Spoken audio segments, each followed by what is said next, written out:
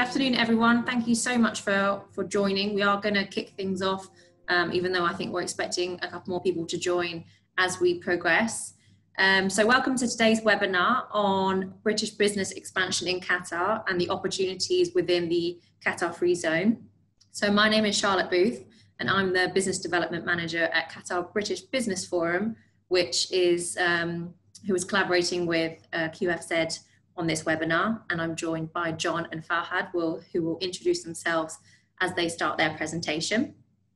Um, so just to kick things off, I just want to share a few housekeeping uh, things, as with all webinars, just to make sure it runs smoothly.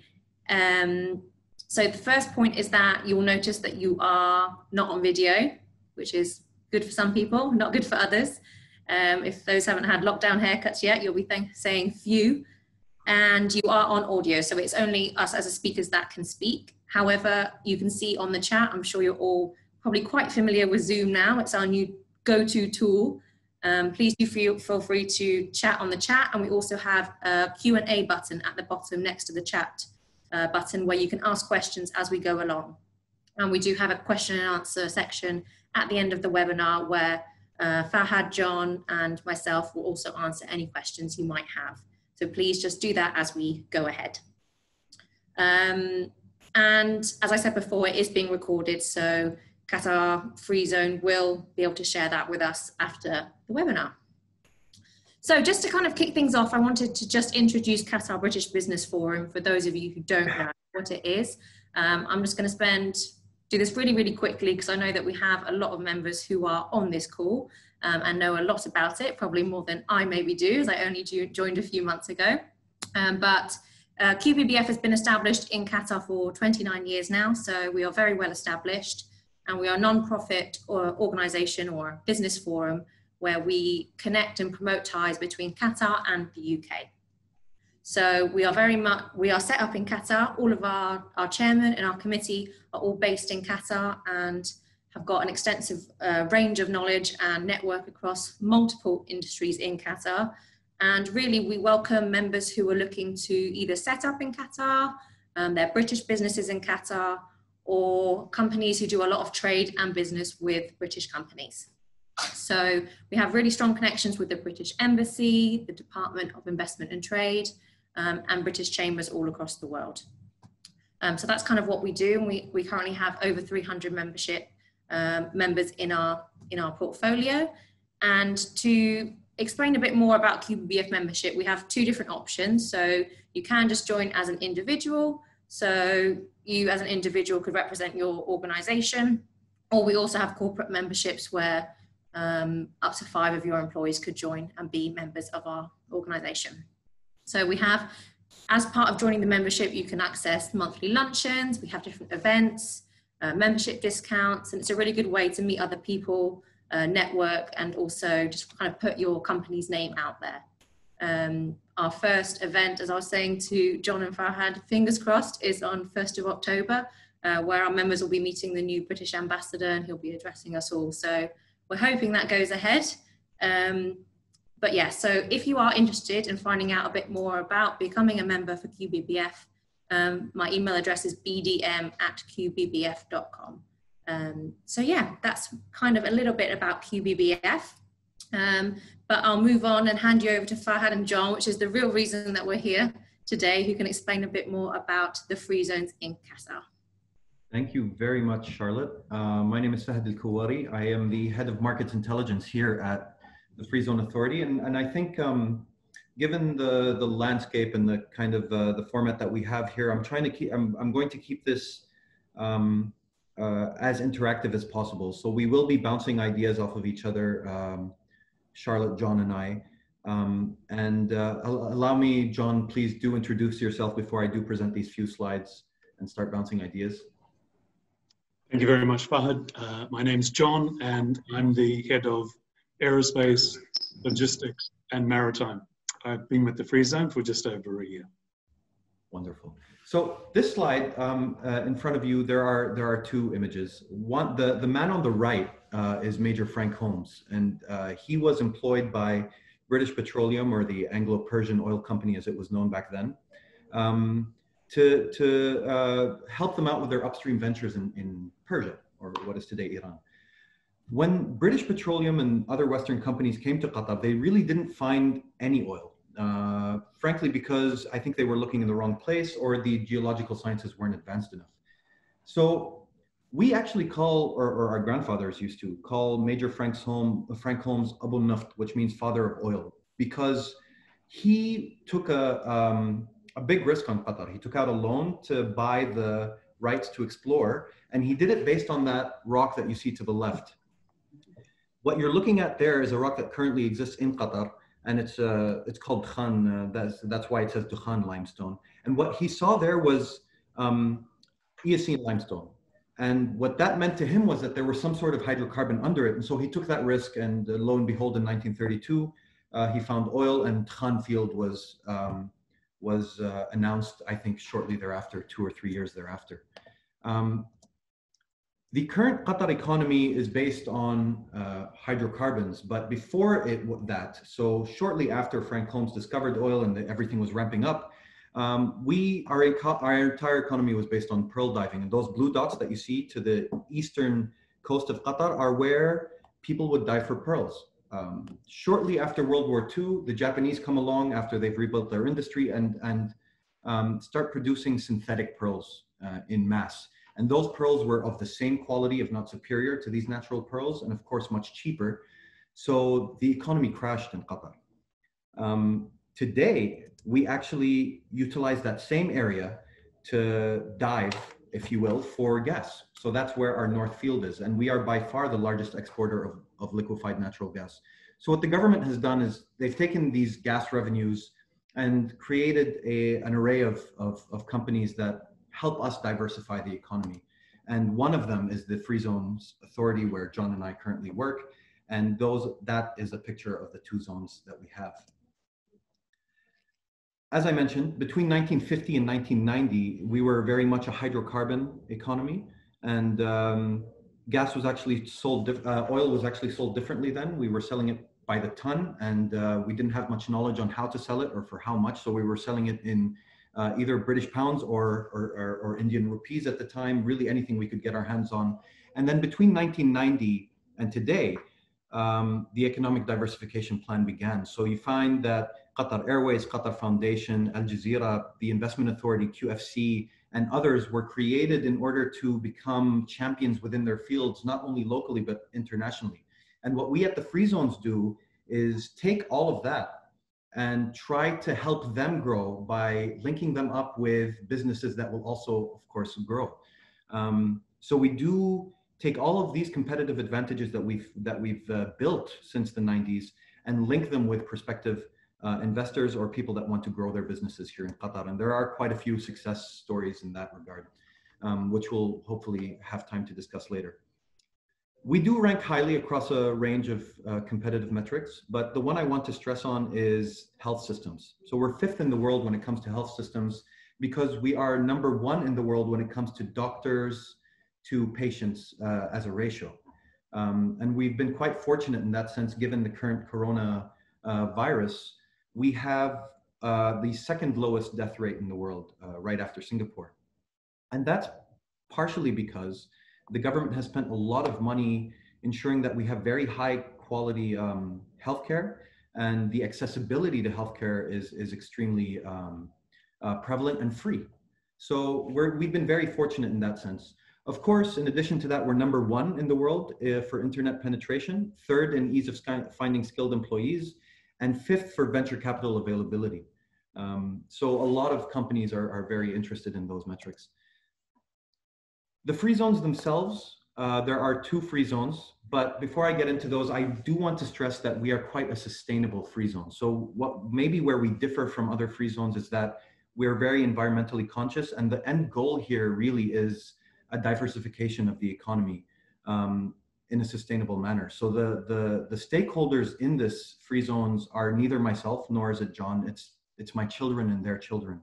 Uh, we don't look after profit um, because we are by default a government organization that's nonprofit. So we will avoid businesses that are very polluting or require a high amount of unskilled labor, regardless of what the capital expenditure is. On the other end of that coin, or, or uh, other side of that coin, we welcome small businesses uh, that are innovative. Uh, we welcome businesses that that um, have a track record where they are um, growing, and and even if the if the size of the business is small, um, anything that provides innovation, anything that brings sustainability is is beyond welcome. And and of course, our BD team will look after those businesses on a case by case basis. There are two free zones. Um, and regardless where you end up, you are quite central. Qatar is a very small country. Uh, country so between Ruwais port in the very north and the very south, um, it'll take you two hours by car. So regardless where you end up, you're quite central. Um, Ras Bufontas is the logistics hub, and it's directly linked to the airport, and it's where it's around four kilometers squared, and it's where we uh, bring in our logistics companies, our emerging tech companies, light manufacturing, the aviation sector, and international businesses, uh, business services. Uh, a very big investor that has invested there quite recently is Volkswagen, and they want to do R&D for autonomous vehicles. Um, Google is also um, on our investor list in, in Ras Bufontas. So this, this is really where we put the high value um, investments when it comes to uh, a, a, smaller need for space. So, so office, um, office investors and, and very high tech um, investors. Umm Alhoul is much bigger. Uh, it's around 30 kilometers squared, and this is where we put our heavy uh, manufacturing. So um, uh, heavy manufacturing, downstream chemicals, um, and the plots there are also much bigger. There is also, if um, uh, I'd like to direct your attention towards the Marsa port, and that's where we'll put our shipbuilding. It's a, it's a man-made port uh, with a depth between seven and 10 meters. And it's where we invite people to do shipbuilding, um, ship manufacturing, and R&D in that space as well. We do have pre-built property solutions. We call them uh, light industrial units. John uh, calls them boutique warehouses, and I think that's actually a bit more appropriate. Um, uh, and we do have 24 of those in Ras Bufontas, ranging from 400 square meters to 1500. Excuse me, and 54 of them in Umm Alhoul um, so these can be, these are turnkey solutions, and a lot of our investors are taking them for a variety of different reasons. So we have people doing 3D printing, Volkswagen is doing some R&D in two of these. Um, and so the, I mean, it's just a turnkey solution and you can do with it what you will. We haven't actually cut the ribbon on any of our free zones yet. So it's still uh, what I like to call a soft opening. And we're almost out of uh, LIUs and Ras Plus. So the demand has been quite um, high for these. So very quickly, let me just go through the offering for investors. We have a very attractive feedstock. Um, we do, as the free zones in Qatar or, or as the government state of Qatar, provide most of the energy to the region, including the gas that is currently being subsidized in Dubai. Um, that goes through the Dolphin pipeline from here to there. So we do have a very, very attractive feedstock and very favorable energy costs because we are the source. Um, we do uh, uh, look out for a stable environment and co-investment opportunities for all of our um, um, investors if, if, they, if they wish to, to pursue that. And we have a very attractive business environment. So we try to keep things as transparent as possible. And we also do offer the Qatar International Court as a backing for any investors. And what that is, is if an investor has a um, dispute with a local partner or another investor or with us, um, you are protected by English common law through the Qatar International Courts rather than our local judiciary system. Um, some of the incentives are 20 years of tax holidays, zero customs on duties on import, 100% foreign, foreign ownership and full capital repatriation, no questions asked, access to government-backed funds, world-class service uh, and state-of-the-art facilities that we've built, uh, skilled workforce and joint venture partnership opportunities we're positioned quite strategically. And it's not only the position, because I think in the Middle East, we do share um, a proximity geographically, but what we have, which John, of course, can elaborate on later, is a very good logistics infrastructure that gives you accessibility to around um, 6 trillion US dollars in combined GDP.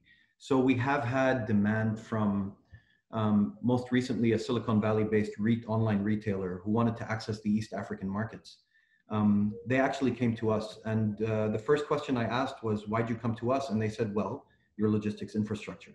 um, they wanted to utilize Qatar Airways to get into the East African markets. Of course, Hamad Port is now around four years old, and that's seeing a tremendous growth in um, trade volume.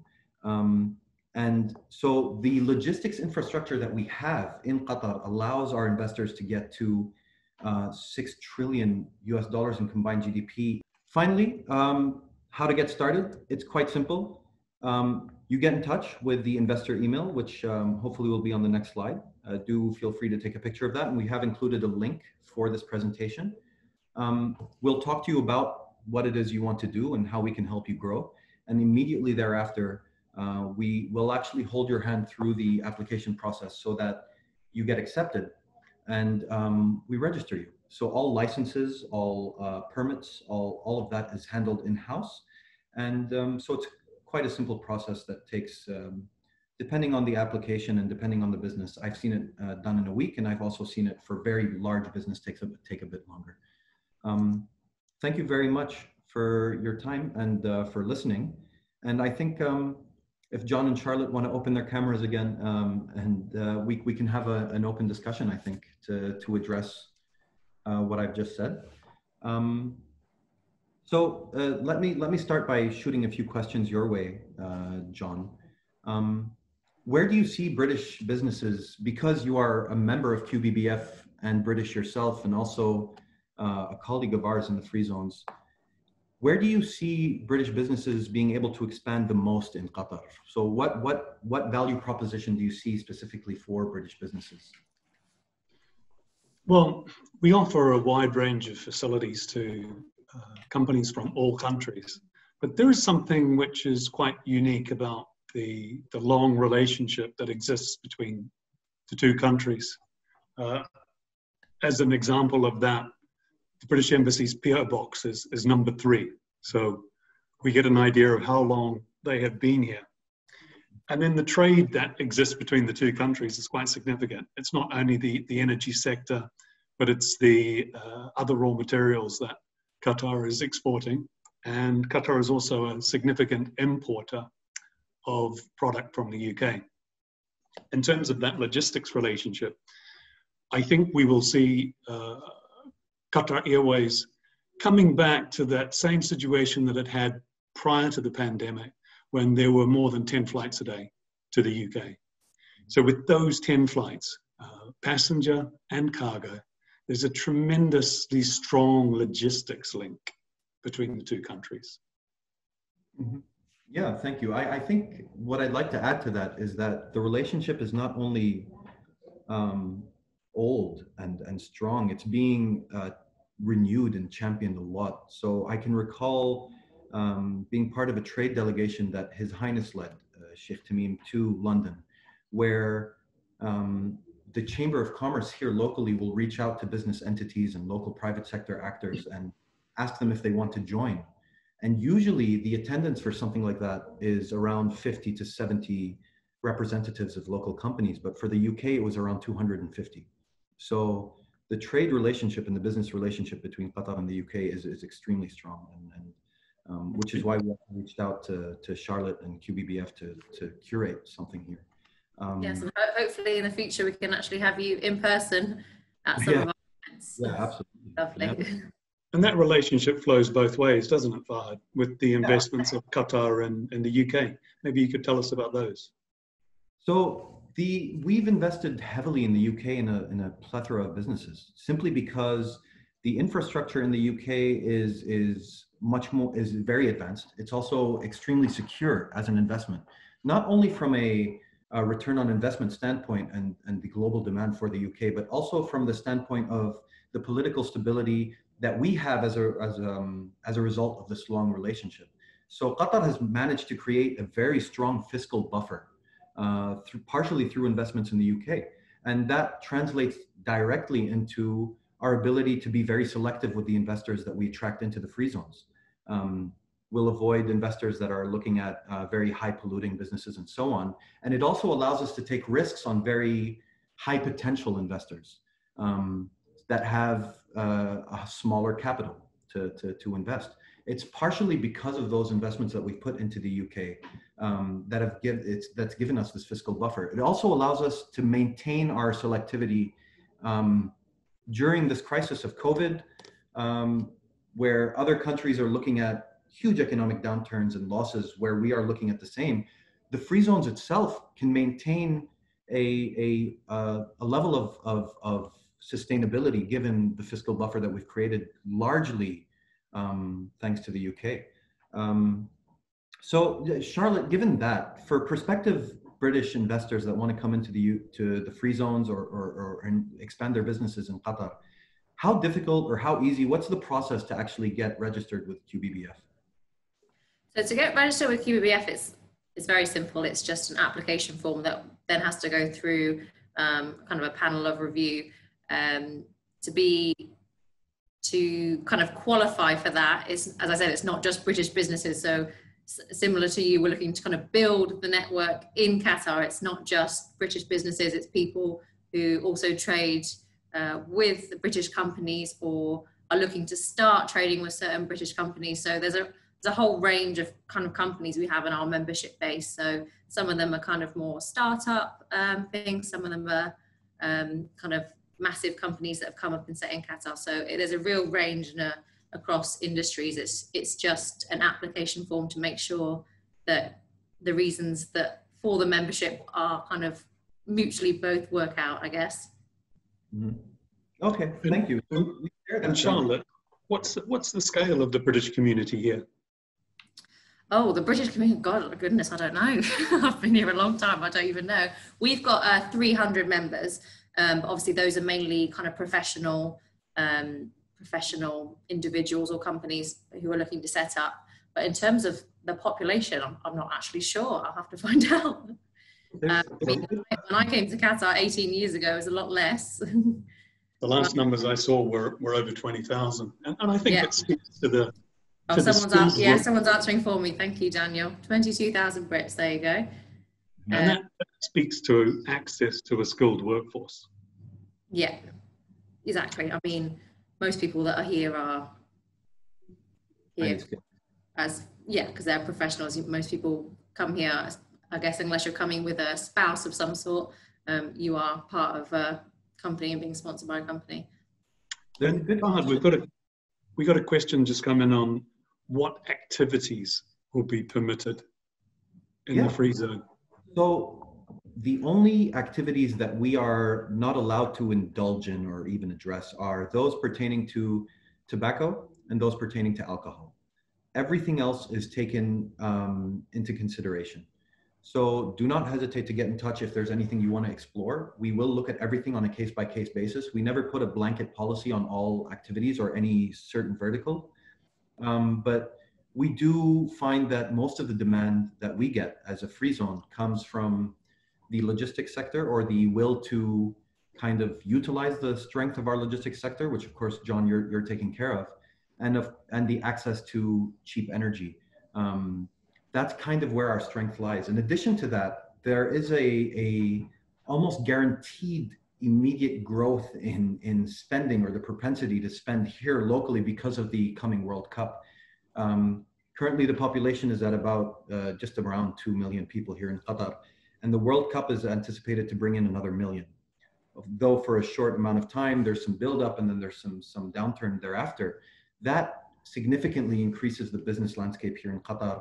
Um, so a lot of investors are looking to uh, come in and utilize that. And we do work very closely with the Supreme Committee, who have referred companies that are startups that have been awarded pilot projects um, with the um, the upcoming World Cup and to, to run their pilots on some of the stadiums. So yeah, we, we don't we don't put a blanket statement on any activities that we allow or we don't allow. And we do see demand a lot in the logistics sector. Before I do address that with you, I do want you to elaborate on that because it is your bread and butter, John. There is a question that came in that asks if we foresee companies based in the free zone being able to trade directly with companies that are registered with the Ministry of Commerce. And yes, absolutely.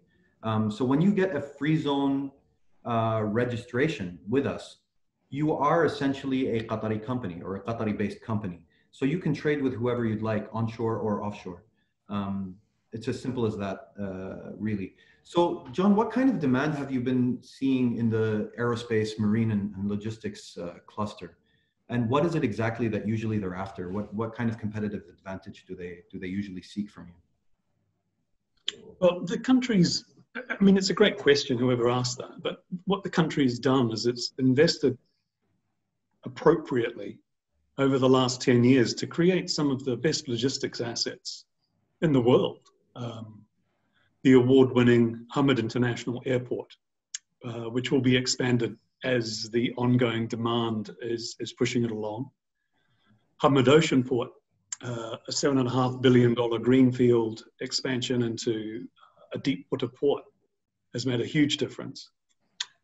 Qatar Airways, which uh, prior to the pandemic had become the largest cargo airline in the world and an award winning uh, passenger carrier as well, were another piece to the requirement for effective logistics. And that combination, along with opening what is going to be one of the most sustainable free zones in the world, has attracted the logistics company.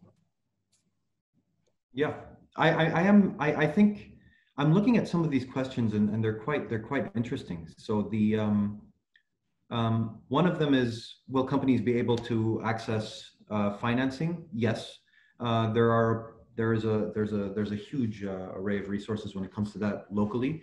And in addition to that, we have the Doha Venture Capital um, company that is a subsidiary of the Free Zone. So yes, there is there is access to financing, and we're ranked fifth in the world for access to, to financing.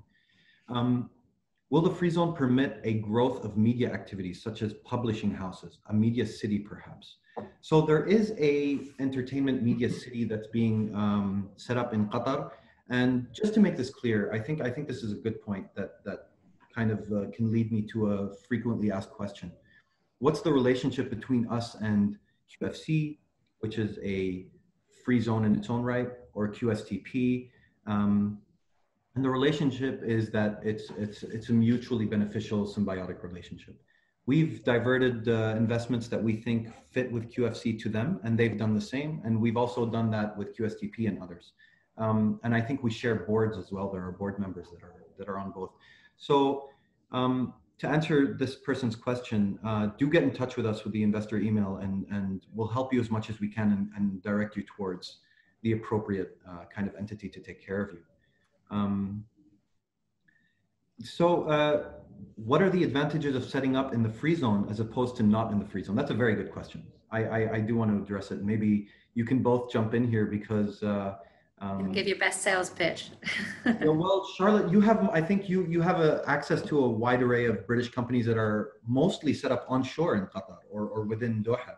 Um, yeah. And so the, the model that came in through the free zones is that we wanted to see how where the um, hindrances were in conducting business in Doha and kind of eradicate them for the free zones.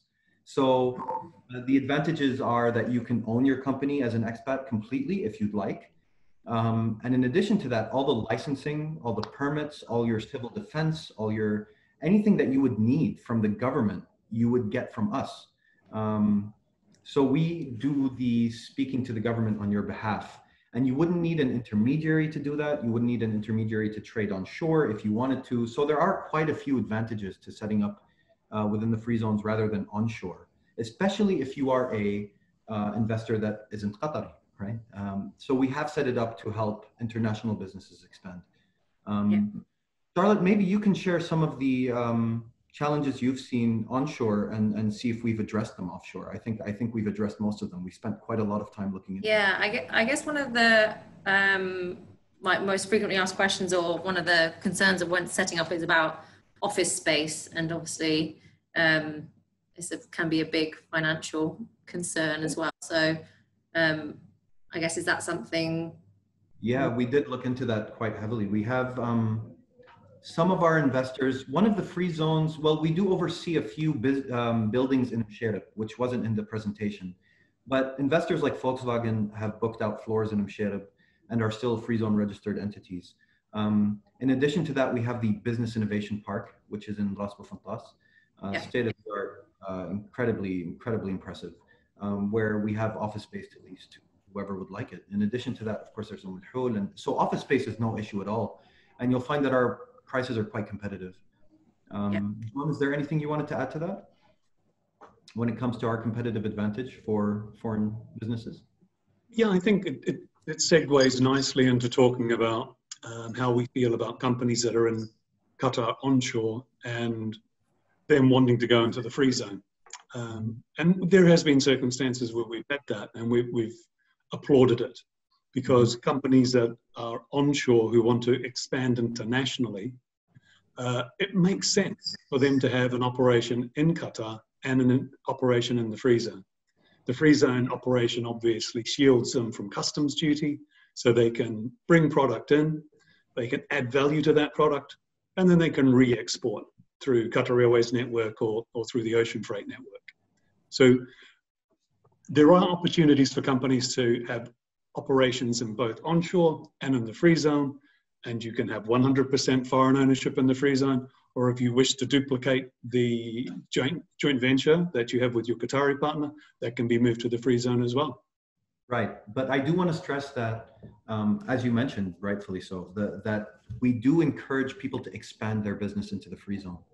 Um, we're so the again the goal here is to diversify the economy and not necessarily cannibalize the local market. So if you do have uh, a wish to expand your export portfolio as a company, or you have the wish to maybe dive into another venture here in Qatar, um, we do encourage you to get in touch with us and we'll, we'll take a look at it. And, and that, I mean, there's a, com- there's a, a question here from Mr. Christopher O'Connor who says, uh, if you have a company registered in QFC, how do you transfer your company to QFZ?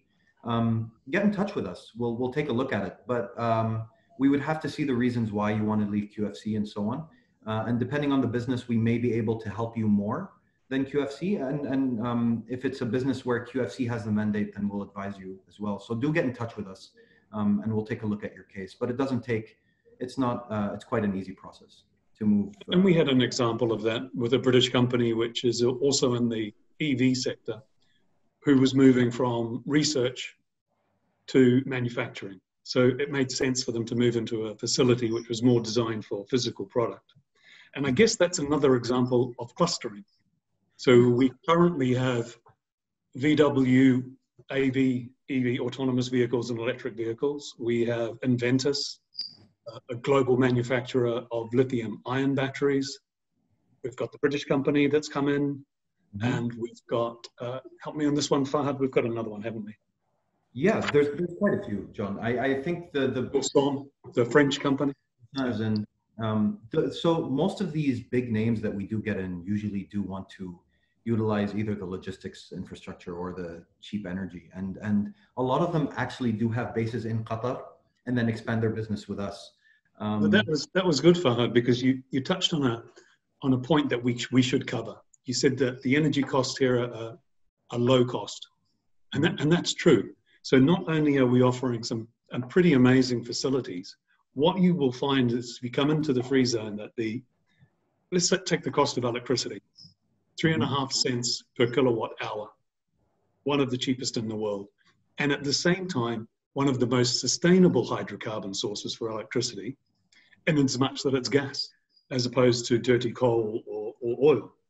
So we're offering low cost energy, we offer low cost land, we offer low cost warehouses, we have a really good cost of labor if you contrast it to the UK or to Europe. And I think that those, those cost elements make a real difference during what are really hard economic times. Yeah, yeah, absolutely. So we, we do have the luxury of being the largest exporter of LNG to the world. Um, and we've made this case over and over again that liquefied natural gas is more sustainable, it's cleaner, and it also um, is uh, due to its the, the nature of its conversion into energy is the biggest or the most appropriate energy source to use when you're uh, creating renewable energy or, or introducing renewable energy into your merit order, uh, which is the, the supply chain of, of, of energy sources. Um, let's shift gears. We are still in oil and gas territory. Can you give a brief idea on the oil and gas companies started operating from free zones? John, do you want to touch on the Tawteen initiative? Yeah, I, would love to. So, when an energy company wants to relocate into the free zone from an international location, whether it's close by or whether it's in Europe or the US, they will be recognized by the, the state uh, petroleum company, QP, as a Qatari company, as producing uh, in country value, which means that you have an advantageous qualification for QP contracts, Qatar Gas contracts, and all of these uh, contracts out there. As a consequence, we uh, announced uh, at the end of last year that, that a, a very large uh, Malaysian energy company, Wasco Piping, Wasco Energy, sorry, uh, had come into the free zone, uh, and their investment is significant. So we have in the pipeline now energy companies coming to set up somewhere in the late teens, close to 20. Mm-hmm. Yeah, and, and so again, we work very closely with all stakeholders in the country, QP, Supreme Committee, all of these guys included, to make sure that if you do want to serve them or if you want to get in touch with them, we localize your business in a way that makes sense for, for you and for us. There's a question here um, from Manish Pandey. Um, the, the, who wants to address the visa issue. Um, they well, there are complicated job change processes for professionals in Qatar and, and companies that want to come in. What are the visa requirements and so on? All of that is taken care of in house. Um, again, so your visas, your permits, your licenses, all of that we take care of in house. And within your application, as you apply for the free zones, you'll tell us what kind of skilled labor you'll need and what kind of unskilled labor you'll need. And we'll address that with our um, team that's located in Ras Bufontas and they'll take care of you. So again, you don't have to speak to anyone. It's not complicated at all. We'll, we'll take care of that. Um, um, There's another question from uh, one of our members actually. Uh, do companies who set up in the Qatar Free Zone have access to something similar to the Qatar International Court or Dis- Dispute Resolution Center? um, yeah. They would have in the Qatar Financial Center. Absolutely, yeah. So we share that. Qatar Financial Center was the pioneer of that initiative, and we uh, advertise it heavily in our in our um, in our decks and anytime we speak to an investor, just to make sure that they feel secure in, in speaking to us, uh, knowing that they're protected should there be any dispute. But we haven't we haven't seen any disputes yet, thankfully. It's been good. Fingers um, crossed, stays that way. yeah. And there is one advantage I think you discovered, Fahad, for British companies. They get to have British law in Qatar. That's right. Yeah. and in terms of the, um, I think it's also a question uh, from some, which types of business is kind of best to set up in the QF um, free zone? Um, I know that you've mentioned a few obviously big names. Um, are there any companies that you would say it's probably not worth, or that certain industries that are more suited, or is it really just everyone? Um, there's a success story uh, that I'd like to share. There was a very, I mean, medium sized. They had maybe 11 employees. Um, uh, company, ICT based company um, that that approached us at one of our roadshows and uh, wanted to set up in the free zones. They provide cloud services and they also do predictive artificial intelligence, medium sized, 10, 11 people. They came into the free zones with, I think, three people, a managing director for Qatar, and then two people to kind of help him uh, with the groundwork. And within three months, that investor, that managing director called me and said that they were named official partners of Microsoft here. And what I'm, so that's a massive, I mean, success story for a company that's quite small compared to Microsoft. And the way they were able to achieve that is by realizing that what they were offering in this market um, was was not offered by anyone other than them. It's a very very young market, especially when it comes to emerging technologies mm-hmm. and when it mm-hmm. comes to things that are um, disruptive in, on a global uh, scale. Um, so any company, no matter what size, will find that there's a space for them in Qatar, and you'll also find that you are first movers if you move now. Um, we are getting the message out uh, as, as quickly as we can. But right now, there there is a lot of space for growth, especially in these emerging tech clusters. John, is there is there anything you wanted to add to that? Yeah, that was an awesome uh, start because if you look at the other end of the spectrum, we've got Microsoft opening a data center in the free zones. We've got Google opening a data center in the free zones. So we, we've got this wide range of attracting small startups and attracting you know global leaders in tech, and the depth of tech that we're looking at, ag tech, biotech, health tech, energy tech, clean tech, and we're supporting that uh, sometimes with uh, Doha Venture Capital, which mm-hmm. focuses on these type of disruptive technologies. But disruptive technologies are really going everywhere now, and we're seeing that in logistics, we're seeing it in medicine, we're seeing it in a lot of different places. Yeah, and I think in addition to that, any business that comes in that's that supports the vision that we've published, the 2030 Qatar vision. So there's a there's an abundance of, of resources in the country, and we've been fortunate with that. But what we don't have is um, things like agriculture. So any any disruptive technology in that space uh, that contributes to the supply of food, or that contributes to the more sustainable supply of energy, or that contributes to the a more sustainable um, environment. Um, these these businesses are welcome with open arms, uh, really, regardless of the size. So there's a lot of space, um, especially for businesses that are innovative. And, and, and, and we're also seeing growth in, in the other industries which we're focusing on. So logistics is a core skill set, and we're attracting all the logistics companies are coming in. They're either signed up or on their way. Aerospace is very important to us. So we're building an aerospace cluster on two kilometers of lands, uh, two kilometers, two, 2,000 sorry, 2 million square meters of land at Ras Bufontas. Um, we're focusing on the maritime sector, as Fahad mentioned before. So we have close proximity to Hamad Port at Alhoul Free Zone, and we have our own dedicated service port, Marsa Port, inside Umm Al Free Zone. Is, is, that, is that port op- open? Is it? Is it? Yes. Yeah. Finished. It's, it's wet, but it's um, not operating just yet. Right, okay. So it's, it's, ready to go. Um, all of the equipment is working, and we're just putting the uh, regulatory framework around it now. Yeah. Okay, nice. quite a bit of demand for it, haven't we? Um, yeah, I can imagine. Yeah, um, it's it's been quite a bit of demand from us. Yeah. Yeah. Um, so we have a, a, few a few other questions which um, I think are kind of similar in nature. So if you are a company in the free zone, are you able to bid on projects? Um, are you able to kind of get government contracts even if you if you're not have a local 51% Qatari partner?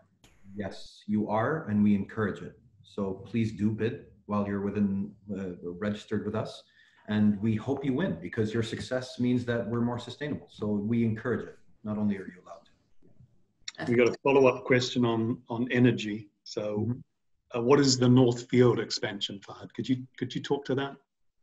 Yeah, the North Field expansion is just an expansion on the current moratorium of um, gas that we produce. Um, we used to export 77 million tons per annum. Mm-hmm. Uh, that was then expanded to uh, 110 million tons per annum, and that's been expanded again to I think 124. So we're by far the largest exporter of natural gas in the world, making us the swing producer. Um, and of course, uh, that contributes greatly to the amount of business that you can find within the oil and gas field. Because these expansions are taking place, you went from 77 to, to, to 124 million tons per annum. That's a huge leap. Um, and again, once once they, especially QP, if they make that commitment, it's going to happen. And so there's a, a massive increase in business opportunities on that end as well. And again, ideally positioned for, for British companies with their experience in, in the field that they have centered out of Aberdeen. Um, and of course, all going ahead, confirmed with the purchase uh, with the purchase order for new LNG carriers to the tune of twenty billion dollars. That's right. Yeah, it's also why I, I, like to I like that that small story I gave you very early on in the presentation. The British man that actually took a risk and discovered oil here, and we call him the father of oil. The British have been uh, just just crucial in the development of our oil fields. Um, you can still see the, the thumbprint of some of these British companies, BP in particular, Shell is partially British um, in QP. So the, I mean, that relationship between that sector and, and, and the UK is, is extremely val- valuable. And I've got a question that came in here um, about the differentiate. How do we differentiate QFZ from other free zones in the region? Well, Their strategy is their strategy.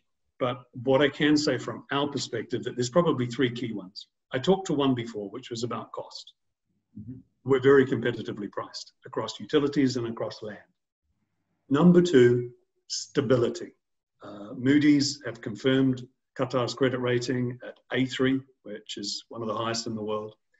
And then the third one, and I think one of the most important one, is sustainability.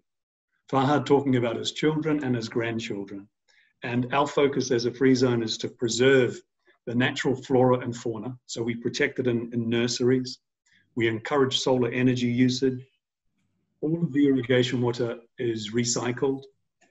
And we're using extensive data analytics to ensure that the resource consumption is kept at its lowest level. So thank you for that question. It's a good one. Yeah, yeah. We have another one about um, when trading with Qatar, how will taxes and duty be dealt with? Yeah, that's a good question. Um, if you are, so all customs duties and import duties have been omitted for companies within the free zone. But the moment you start competing onshore, all local laws apply. Now, let me let me elaborate very quickly. You can still maintain 100% ownership of your company within the free zones and trade onshore, right? But the tax laws that would be um, that would exist onshore will still apply. Um, you can even be situated outside of these free zones, outside of Ras Bufontas and Umm You could be situated in Msheireb like like Volkswagen is, but they maintain 100% ownership of that project that they have and conduct all of their business onshore when it comes to that autonomous vehicle deployment. Um, but they are still subject to all local tax laws, which are quite low, I think, uh, compared to the region. Um, I think, uh, with the exception of one country in the GCC, we're the lowest uh, when it comes to that. We've got a question about uh, as the QFZ working with QCB on the potential fintech sandbox, and do you see fintech being a core offering of QVC? I think that'd be more QFC, wouldn't it, Fahad? Right, yeah, that's right. So QFC has the mandate, and I think they have much more experience than we do um, in hosting financial service companies, which would include fintech um, companies. So, I mean, do get in touch with us and we can direct you to them if you'd like um, or we can take a look at, and, at your business and advise you. But yeah, QFC has the mandate for financial technologies and financial services. And Fahad, another question here. Maybe you want to have a go at this one. Companies placed in QFZ will be able to bid for PPP projects in Qatar as local companies too? Yes, absolutely. And we encourage it, please, by all means. Yeah. When will uh, Qatar Free Zone be fully operational? Is the question we have. Well, uh, we'll announce it. Um, we are the, the, we've only I've been here for around a year. John has been here for around a year. I think we're maybe a month yep. apart or so. Um, the first employee has been here for maybe two years. So we're we're building very quickly, um, and we do have a, quite a, a loaded pipeline of, of demand for investors. Um, Umm al will be announced very soon, so do keep an eye out for that. We are announcing the opening of Umm al very soon, and um, hopefully within this year, everything will be fully up and running. So we have uh, Doha Crafters is active manufacturing boats in Umm al Free Zone, and if you drive past Ras Bufontas Free Zone, you'll see a DHL facility uh, approaching completion, another facility for Gulf warehousing and UPS approaching completion and uh, occupation of the offices for our clients will be in the next month. So, yeah, we're, we're really excited about doing a, a completing the soft launch and then celebrating uh, the success of the team that has built this freezer. Yeah, yeah. For sure. I think I didn't do a great job in actually keeping my slide up for long enough. There's a there's a bit of demand here for the contact details on who can assist me for the registration of my new company. So let me let me go ahead and, and, and keep that up rather than our pictures. Uh, John, if you And what we'll also do is we'll send a link to your registered email address uh, so that you can get a copy of this presentation. Yeah, absolutely. Yeah. And I think a few people have asked about how you can maybe get advice. So um, that email is investors at fza.gov.qa. So it's on the it's on the PowerPoint. Um, and I guess that email will, our members will be able to kind of access and maybe get some advice on their queries. Is that correct, Fahad? Yeah, that's right. So you could do investors at FZ or FZA, or you could do investors at QFZ. Uh, we own. Okay. Okay, perfect. And um, as I said, hopefully John and Fahad will be in person at some of our events where maybe you can ask any specific questions um, relating to your uh, companies to them there, which I'm sure you'll probably have a long line. Maybe I shouldn't have said that. no, no, I mean, we're happy to do it. yeah, we've got, well, if you're doing roadshows, I was going to say that would um, maybe be quite good for our, our members at QBBF. Mm-hmm. Yeah, yeah. I mean, this is the fun part of the job for both of us, I think, is actually yeah. to, to, to see what the questions are, where the concerns lie, so we can do our job um, more effectively, I think. Perfect. Well, I think, I think we've answered um, the majority of questions, so thank you very much. I think we've had um, an array of questions of different um, different sorts. Uh, so thank you so much for kind of imparting your wisdom on us and sharing um, a little bit more about the Qatar free zone. I think for a lot of us who have been in Qatar for a long time, it's one of those things that yeah. you hear talked about a lot, but you don't actually know the ins and outs. So it's been really, really helpful. Thank you so much. Um, and yeah, we will share share the PowerPoint with anyone that wants it from the email address. So thank you very much to John Fahad, and we hope to meet you in person very soon. Yeah, thank you, Charlotte. Thank you for organizing this and thank you for, for being here with us. Really, we appreciate it. Hopefully and, it's the first of many, first of many collaborative events. And thank you very much for the attention of our audience and uh, those valuable questions that they asked. Yeah, really good questions. We were nervous they wouldn't have any and we had a lot, so thank you so much. Great. Have, yeah. a, have, have a good uh, evening, everyone, and see you later. Bye. Thank you. Bye.